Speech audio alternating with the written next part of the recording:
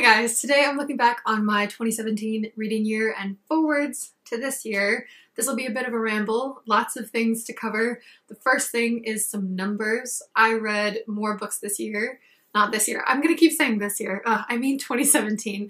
I read more books last year than I ever had before, 130 exactly, counting some of the books that aren't listed on Goodreads. And the most I'd ever read in a year before that was 83, so it was a jump.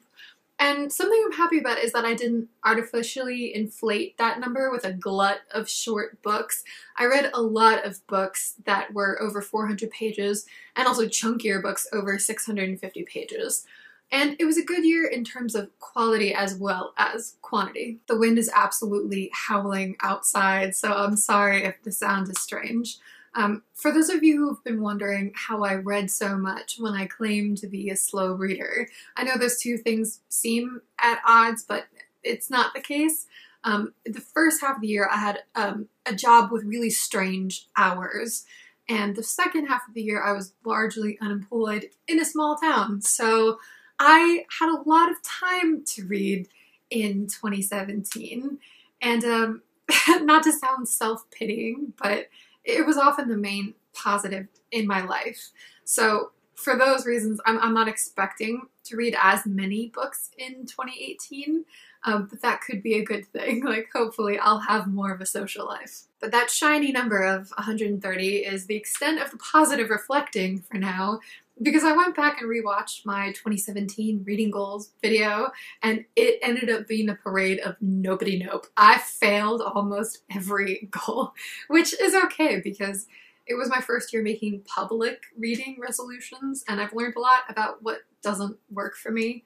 So, um, for example, I made a top 20 TBR for 2017 video, which actually had around 26 books on it um, yeah, no, I ended up reading eight of those, and that's because it wasn't a smart goal. It was me saying, I hope at some point during the year I feel like reading these books, but that never happened. I never felt like picking up most of them in 2017. So now I'm treating it more as, as a loose, eventual TBR. Another big fail was my category goals. I threw out that I wanted to read more Central European and Russian lit, more books in Spanish, and then dip into fantasy and gothic fiction. And the only one of those that I touched was fantasy, you know, riding the Robin Hobb wave.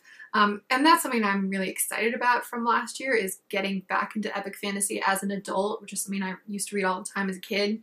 And I can't wait to, to explore more authors and series once I finish The Realm of the Elderlings. But what I've learned from this failure is that long-term goals and yearly goals are not the same thing. And if I want to accomplish something in a specific time frame, whether that be monthly or yearly, I need a specific goal at some point.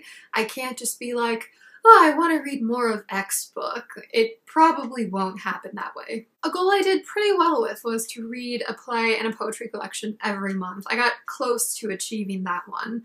Um, but in this case, setting a monthly goal at the beginning of the year didn't quite work for me because what would often happen is that it'd get to the last week of the month and I'd suddenly think, oh, I need to pick up a play and a poetry collection. Like, it felt like a chore sometimes, but it was worth it to try it that way to, and to incorporate them more into my reading.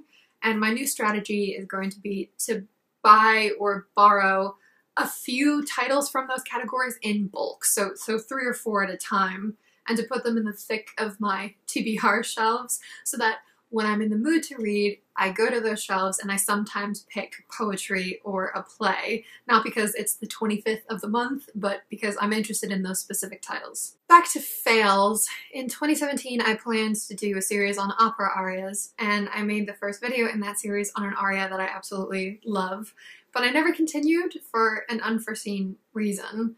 Um, so when I was living in Russia, I had no space to sing freely, and I, I sang sometimes in the shower, like in an I'm trying not to disturb people kind of way, but that was it for the year I lived there.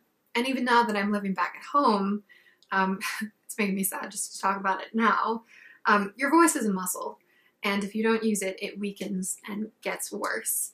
So uh, my voice after having not sung for 18 months is something that's just unrecognizable to me. I hate the way it sounds. I hate the way it feels to sing. And um, it's really painful to think about and to talk about.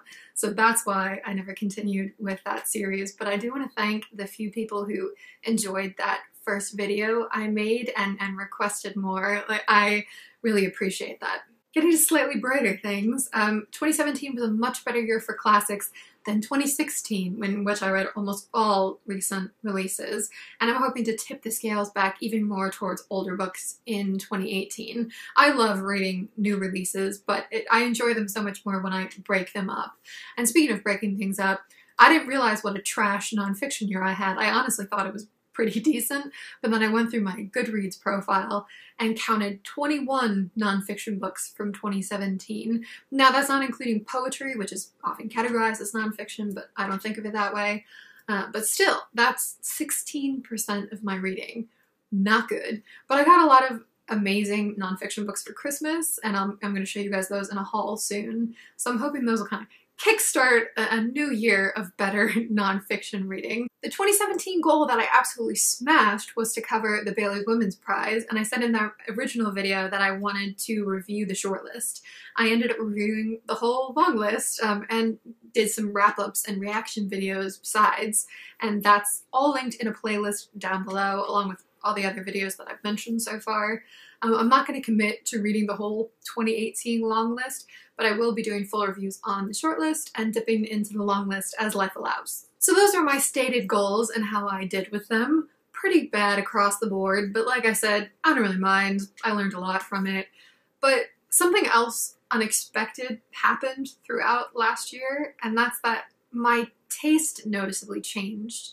If you watched the video I recently made on my favorite books of 2017, so many of those are weird and structurally innovative. Like the kinds of books that I would be nervous to hand to my friends and family who don't read very much. And that just wasn't my thing at all, even two years ago. I used to be almost an entirely character based reader. If I didn't care about the characters, I didn't enjoy the book.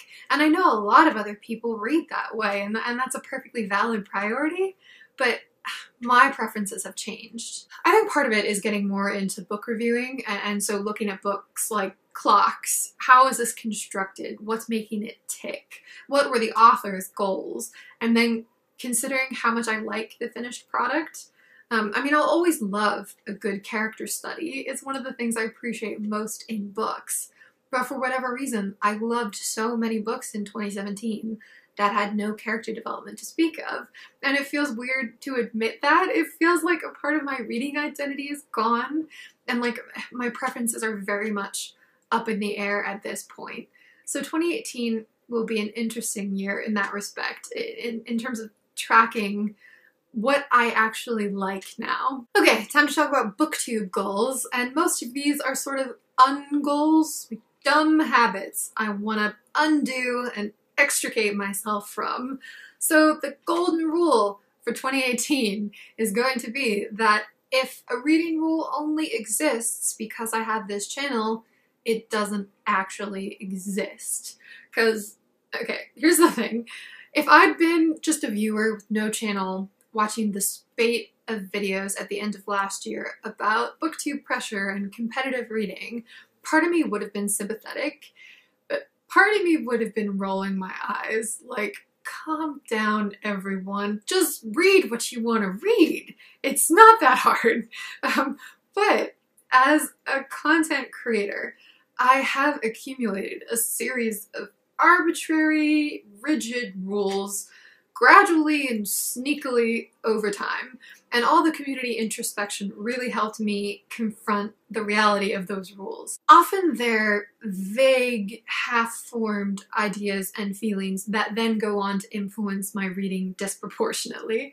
Um, so, for example, pressuring myself into finishing a book before the end of the month so that I can include it in my next wrap-up, um, not allowing myself to read several books at once on the same topic, even if I'm really interested in that topic in the moment, because I want to have variety for my viewers.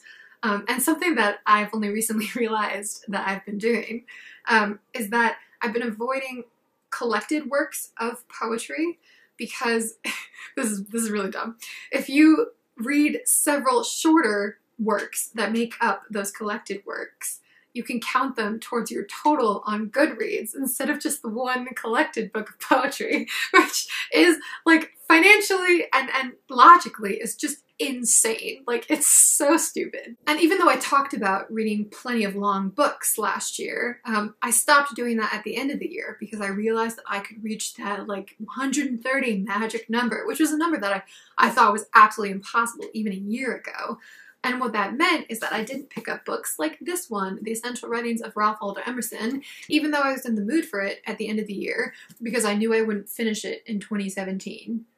Any random rule or goal that keeps me from reading Emerson is a dumb, dumb, dumb. It should not exist. So those rules won't exist anymore. I decree it. All this means that I'm making changes to my channel and Goodreads. The biggest change being that I'm not going to do monthly wrap-ups anymore. I'm going to be doing a December 2017 wrap-up just to have that one whole year of me talking about every book I read.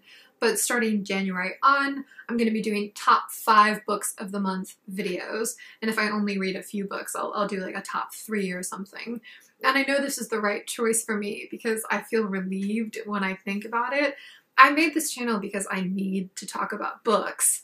I don't need to talk about every book I read. I actually have no desire to do that. Um, first of all, I don't always have something to say about a book.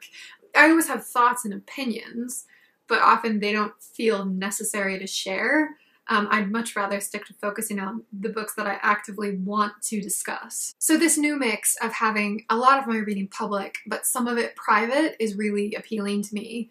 Um, now, for those of you who are thinking about the top five format and are worried that this is going to become an exclusively positive channel full of sunshine and purring kittens, don't worry, I will be doing occasional review videos with two or three books that I've read in recent months and have been meh for me that I want to talk to you about. Um, and even though my heart belongs to the Women's Prize, the shortlist usually has a book or two for me to rant about. Let's be real. I also decided to stop doing Goodreads ratings in 2018, at least for the first chunk of the year. Um, if you follow me there, I'll still be writing blurbs after I finish each book, so four or five lines of what I thought just no rating for most books. Now I might be rating like Robin Hobb titles just for a series comparison, and if I really hate or love a book, I might dish out a one star, a big fat five star rating. But overall, Goodreads has become way too prominent in my reading. I think the star ratings are useful. I'm not going to be avoiding them for any philosophical reasons or because I think they're a bad idea in general. I've just realized that they're coming between me and the books I'm reading. So when I was halfway through a lot of books that I read last year, I was already thinking about whether I was going to give them three or four stars. Um, and I worried about being too harsh or too generous with mediocre books and, and what kind of a reviewer my ratings made me. Basically, it's entirely the wrong way around, especially for books between three and four stars, where the rating I end up giving a book will influence how I think of it as opposed to my thoughts being reflected in the rating. And I just don't need that junk in my life, so no more. Also, I, I love not feeling compelled to rate classics anymore. I've always rated things based on an imprecise combination of my personal enjoyment and how good I think a book is, which is a, a, slightly unsatisfying system when those two things are at odds. And it's resulted in certain classics getting lower ratings because I admired but didn't love them, which is fine. We're not obligated to give all classics five stars just because of how important they are. But I don't want to give Oedipus Rex four stars, okay? It makes me feel basic. So those are some of the changes I'll be making to my public reading this year. In terms of reviewing, 2017 was fantastic in that I became a published reviewer for the first time with the literary journal Open Letters Monthly. Now that particular website has closed down, although you can still access all the old reviews, but we have a new website now called Open Letters Review, and I am so excited to be one of the editors for that along with other booktubers like Britta Böhler and Jess from Garden Scriptorium, um, and people who are big in the business like Steve Donoghue, the reviewer for the Christian Science Monitor and a fellow booktuber, um, and Sam Sacks, who writes the Fiction Chronicle for the Wall Street Journal. So if you're interested in trying your hand at written reviews, we have a whole different system now. Instead of monthly reviews, we're going to have almost daily content. And instead of 2,000 words minimum, like it was before, it's going to be around 100, not a 100, it's going to be around a 1,000 words maximum. So you can contact me if you're interested, or even better, Steve. Um, and I also have personal goals for 2018 for expanding and writing for other outlets. Um, this is a hard business to crack into, but I'm going to try. Back to BookTube, I don't have any special goals for this channel. I'm just to keep chugging along. Um, but rewatching that 2017 goals video just drove home for me how much the channel has grown, especially in the past few months. And part of me is like, where are all of you people coming from, you know? But hey, welcome. Really glad to have you here. Uh, and it's not that I'm not proud of my channel. I, I am. I just think I've never expected it to keep growing because there are so many channels with smart, lovely people that stay really small. In a lot of ways, it seems like a toss-up as to who gets a following and who doesn't. Um, and so I guess I'm, I'm more on the lucky side of that coin than I thought. And 2017 was also the year that some of my favorite booktubers commented on my videos. And, and some people give me shout outs too. And like, I am not remotely cool about it. I freaked out every time. Winding down, last resolution, I promise, is that I want to watch a wider variety of booktube this year. In my personal life, I'm one of those people who has two or three close friends, and I spend almost all my time with those friends. I've never had a broad social network, it's just not my thing. And I think I've kind of been treating booktube the same way, where I watch a relatively small number of channels, but I follow them in, a dedicated way. And that's fine. I don't necessarily need to subscribe to hundreds of channels. That would stress me out, I think. But I want to watch more diversely and comment on, on a greater variety of people's content, especially when it comes to booktubers who comment on my videos. I have a lot of small booktubers who support me and I want to be better at checking out their videos because as a creator, it feels really bad when you love someone's content and comment on their stuff and they never once engage with your channel. Um, I've had that on both ends now, and, and it's bound to happen. We can't all follow everyone. Um, but there is an element of taking people's support for granted and, and being cliquey almost. And I want to do a better job of avoiding those things. That's it. This might be the longest video I've ever done. I don't know. We'll see. It was Rambletown, but do let me know what you think about any of these plans, especially um, in terms of my monthly wrap-ups and my Goodreads changes. And let me know about any of your 2018 reading goals. I love geeking out about that stuff. So please do geek out with me if you feel so inclined. Bye guys. Thanks for watching.